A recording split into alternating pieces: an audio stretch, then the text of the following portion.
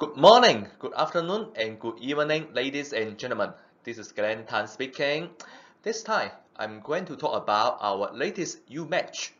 For identification, I will call it U-Match 6 or U-Match LNS. And this presentation is based on EU market. For the other area, you can take it as your reference. This presentation divides into these five parts. I have put the corresponding video linkage at the below description area just for your convenience. What is U-Match? U-Match is between residential air conditioner and commercial air conditioner. Compared with RAC, the capacity is larger. We make it up to 16 kilowatt to achieve this one, we extend the uh, piping and also the height drop.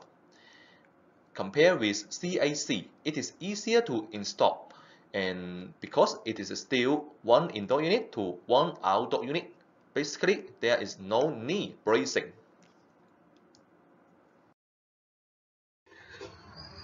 Here is the universal match and what you can do is with the same unit with it, this one, you can select the indoor unit to be duct tie, cassette tie, wall mounted, or the floor ceiling.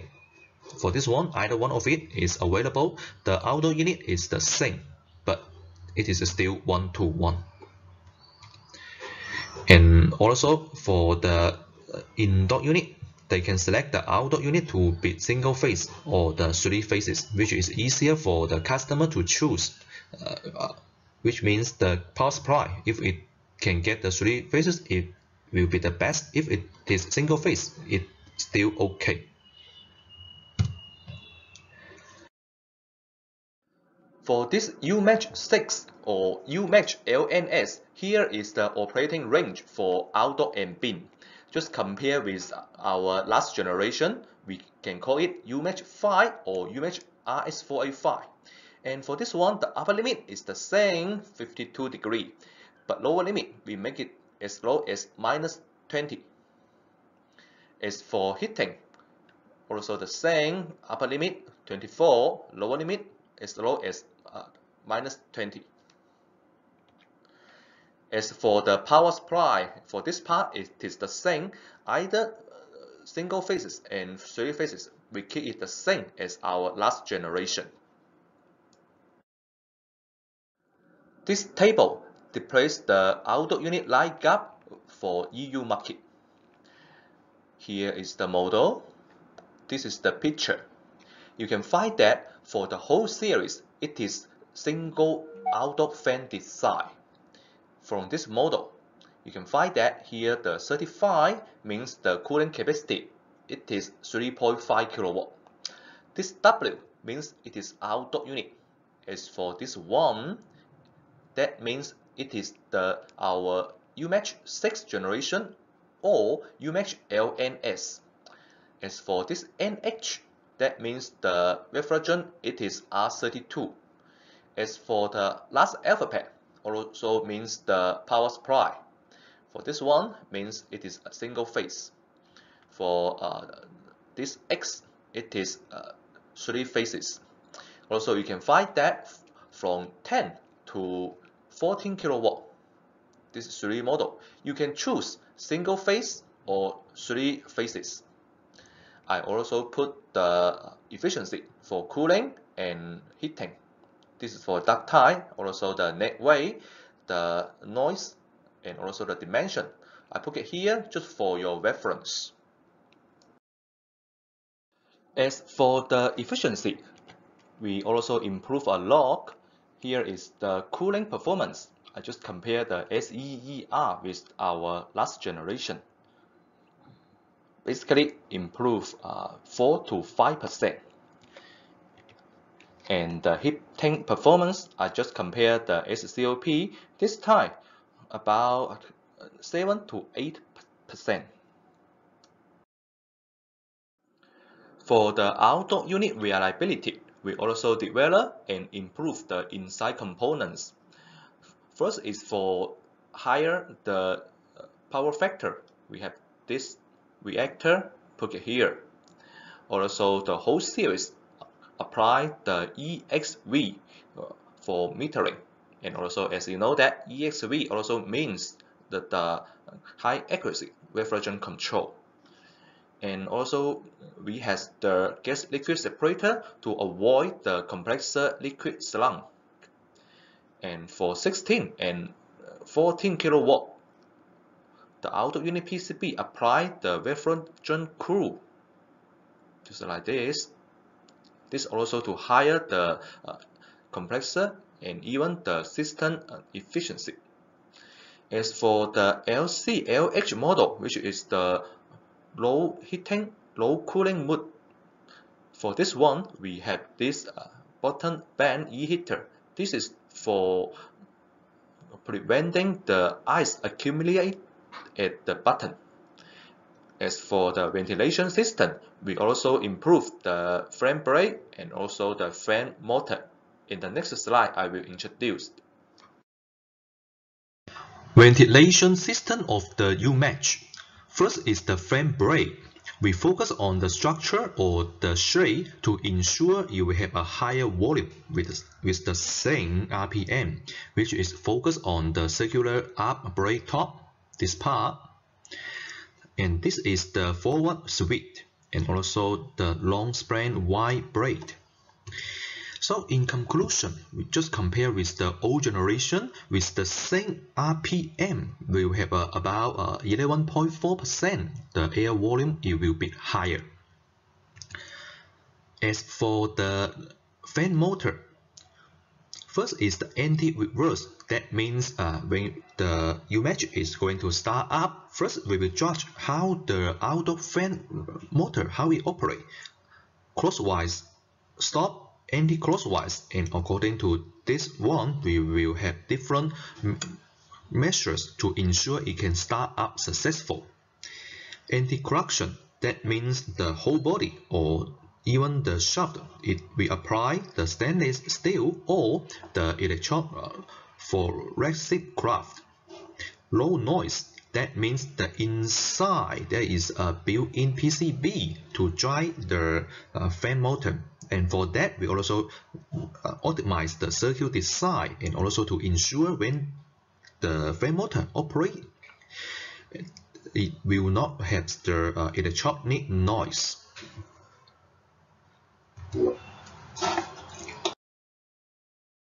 The compressor also from Gree. It is twin rotary. That means inside the compressor there are two cylinder or two compression chamber and we also uh, research or develop lots of, of the components to ensure the compressor with higher efficiency and also uh, higher uh, durable. For example, here is the is compression chamber. The, this is the roller. It is a alloy roller made from chlorogenic process for lower leakage and abrasion. This valve is for the gas to discharge with a special structure to lower the resistance. And also this one, this slide vent, which is located here. And for this one, we need to ensure the intensity, especially at the surface. So the surface, we make it a special coating. This coating is similar like the diamond to ensure the durability. As for this shaft, this whole one, it is uh, made from QT700 and also the surface it is robust coating. As for the motor, it is a rare earth motor with DV shape to ensure the high magnetic intensity, which to ensure you will have a higher efficiency. As for this part, this is for the compressed, compressed gas to discharge. With this structure, we can ensure it will not discharge too much oil. And for this one, we can make the whole uh, compressor for uh, higher durability. The outdoor heat exchanger, we apply the corrugated fin. Just compare with the uh, flat fin, the surface is not uh, flat but uneven. The purpose of this one is just to higher the heat transfer efficiency.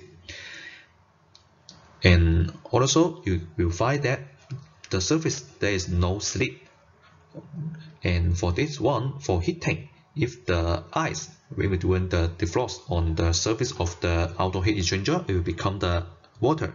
And for this corrugated fin, it will be easier for the water to flow out because there's no slip, right? And just due to this one, it will be easier for the defrosting just compare with the slip uh, fin. As for the anti-corrosion, this is the table and actually in our Gree design system, we divide the anti-corrosion level of the fin by different color. And also you will find that for either one of it, the structure is this. They are almost the same. The difference is just the thickness of different layer. And just like this, basically uh, this is higher also means the anti-corrosion level also higher. So for the U-Match, the outdoor unit, we applied the golden fin. It mm, already passed the 105 1500 hour of the natural salt spray test. And for this one, it 24 hours. Uh, for it, it can consider as a one year in regular condition environment, which means for this one, it can last for a long, long time. And if you have a higher anti-corrosion level, you can also choose this black color. It can additional pass 200 hours for the acid salt spray test. And also for detail, you need to uh, contact with your Gree salesman for detail. Compact design. First is for the installation space requirement just compare with our last generation, you can find that this space required, we make it to be smaller. So you, you can install just like this for more easier. And the whole series, it is a single fan, and also for this case, you cannot open this window, right? But for this one, this is the U-Match uh, LNS, it is available. Here is the comparison among U-Match, multi-split or free match. And uh, the VRF and we just compare on the 12 kilowatt. And here is our latest these three models. And here is the detail model of the, the outdoor unit. And here is the picture for how to do the wiring and the piping. And you can find that for U-Match it is one outdoor unit for one indoor unit. And for this multi-split one outdoor unit at the same time it can connect to multi indoor units. And similar to the VRF but also you need to pay attention that the piping you need to uh, uh, combine as one then we can connect this one to the outdoor unit and here I just make the comparison on different items. First is the uh, metering device. As all these three apply the EXV. So the location and for the U-Match and the multi-split locates at the outdoor unit and VRF locates at the indoor unit. And for this reason, for the customer, the noise, it will be lower for this two and a little bit higher for this one. As for the communication between the outdoor unit and the indoor unit, for this two, also apply the LNS, which is the live, nature, and signal, and plus the earthing. So it will totally will be four wire. And this one is uh, four wire for each indoor unit. And for the VRF, it's the power for indoor unit and outdoor unit, they are separated. We just need to ensure the communication. And also we apply the CAN communication with only two wires for each indoor unit. As for the piping, these two, only the flaring, no need the uh, welding or brazing. And here is the piping information about the high mix high drop outdoor unit to vertex indoor unit and total piping. I just put it here just for your reference. The reason why this uh, VRF has it can connect to a longer uh, or further in indoor unit. It is because it has the subcooler. This one. And the purpose of the subcooler is just to increase the subcooling, which makes the system can the refrigerant can remain uh, liquid state when it go to the vertex indoor unit. So that is the reason why it can connect to up to uh, 100 meter. And the refrigerant for this tool, we apply the R32 because they uh, belong to the uh, residential air conditioner. Uh, and this one is the uh, commercial steel R148.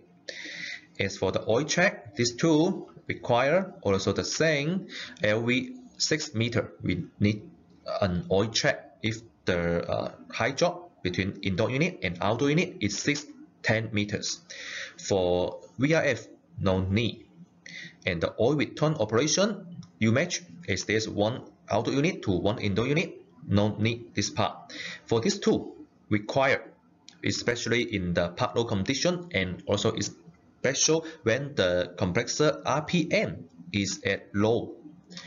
And also at the uh, capacity ratio for this one it is uh, no selection.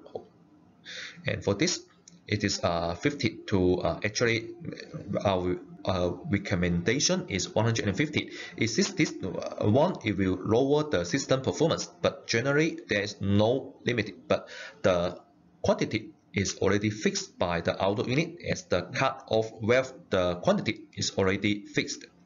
As for the VRF, we have a limit. Upper limit is 135. And the power supply for this uh, UMatch is from outdoor unit to the indoor unit. And also the, the same as the multi-split. For the uh, VRF, the power supply for indoor unit and outdoor unit, they are separated communication is CAN, only two wires.